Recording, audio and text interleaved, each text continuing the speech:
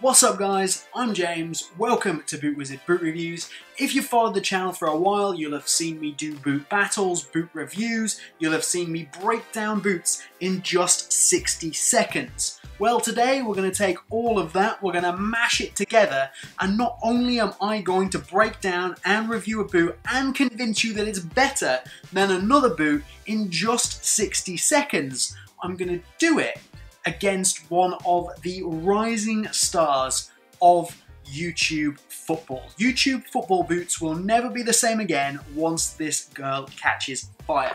Today I am doing this video with the one, the only, the fastest reviewer in the West. It is Soccer Knocker. What's up guys, it's Knocker here back with another video, and today I'm so excited to do a collaboration with Boot Wizard. As he said, we're going to be convincing you in just 60 seconds, so you know I have no problem with that. So make sure you guys go like the video if you enjoyed, and subscribe to both of our channels. Let's get into the video.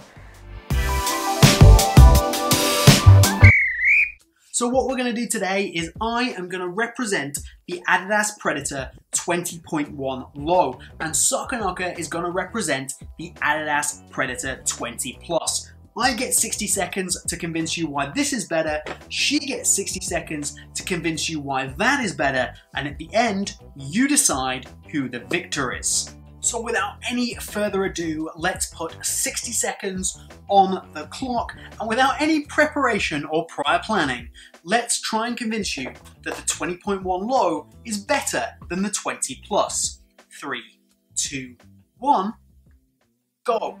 Well, the first and most obvious thing is that the 20.1 low just looks better. High cut predators that come up to like your mid calf who wants that? Completely ridiculous. And speaking of things that are completely ridiculous, the 20 plus, the demon skin, it pokes out at just such a ridiculous angle. The grip that you get off it is stupid. You can't control a ball properly. With this, it's much more refined. It gives you a much better touch on the ball and it's certainly not going to wear down as quickly. So this even wins points for durability, which means it's going to last longer, which means it's better value for money.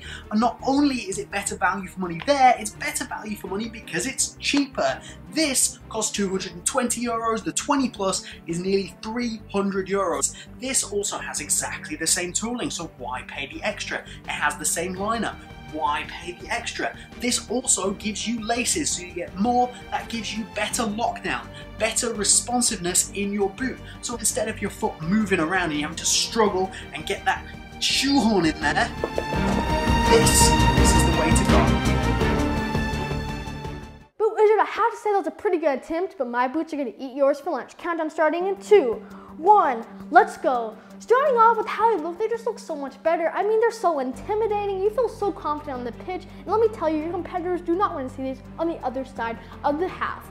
Now, going to who players wear these, I mean, biggest players in the world, Pogba, Dele Alli, and that's all I know of right now who wear these boots. So these definitely have no cap. I mean, just look at them. If you told someone this day and age, 20.1 low versus 20 plus, they'd obviously pick these.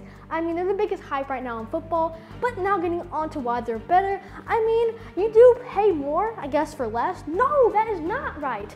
I mean, yes, you get no laces, but you get a prime knit kind of upper right here. That is so much nicer, super soft, super plush, and just not as like stiff as a 20.1 low would be. And look at that, look at that flex. You get the wearable metallic outsole, super nice, super amazing. No one's missing you on the pitch with these. The high, high cut actually feels amazing.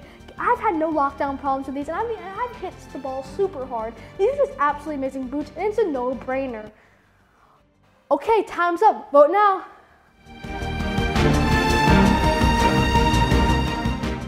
So if you now want to click up in the top corner of the screen here, I think, you will be able to vote. You either vote for Boot Wizard or you vote for Soccer Knocker. But that's all from me here in Denmark today. That's it from Boot Wizard. Thank you guys so much for watching the video. If you enjoyed, subscribe to both of our channels down below. Support the video with a like if you guys want to see more from this series. And go turn on the post notifications for both our channels so you don't miss another one of our boot videos. Thanks for watching. Gotta get out!